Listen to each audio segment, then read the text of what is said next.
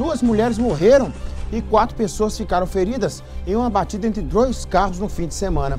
O acidente foi registrado na cidade de Piedade de Caratinga. E o Tomás tem os detalhes dessa ocorrência para a gente. Boa tarde para você, Tomás.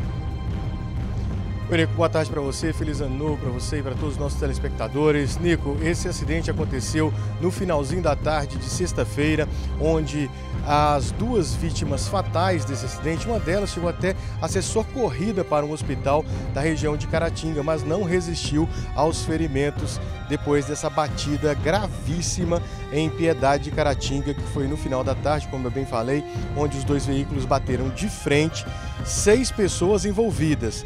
Quatro pessoas ficaram gravemente feridas, duas delas a dona Jacinta Rosa de Almeida, de 66 anos, e também a dona Raimunda Rosa de Paulo, de 64 anos, de São João do Jacutinga.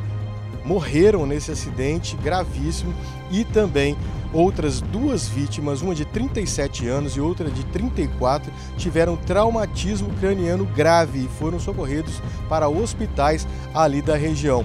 Outras duas pessoas também sofreram ferimentos, uma delas teve, é, fraturou uma das pernas e foi também socorrida. A outra, a segunda vítima, né, dessas seis vítimas, a menos ferida, foi esse homem de 30 anos de idade que foi socorrido também, mas com ferimentos leves. Portanto, uma batida que parou o trânsito da região no final da tarde, teve que ser impedido, justamente chamaram outras ambulâncias de prefeituras vizinhas para ajudar no transporte dessas pessoas que se feriram depois dessa batida frontal entre estes veículos na região de Piedade do Caratinga, Nipamedes.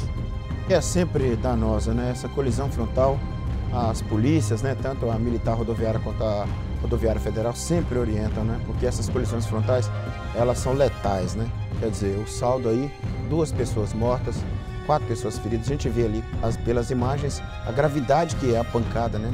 Não, e os carros são programados para se destruírem assim mesmo, né? Porque antigamente o impacto vinha todo para quem está dentro do veículo. Hoje não. É, é, o carro desmonta exatamente a ideia, né? O estudo lá da física, da turma da engenharia automotiva é para isso, para que esse impacto não, não venha todo para dentro do veículo, né? Não acerte os corpos dos humanos. Nesse caso, ainda assim, duas mortes e quatro pessoas feridas. Que tristeza.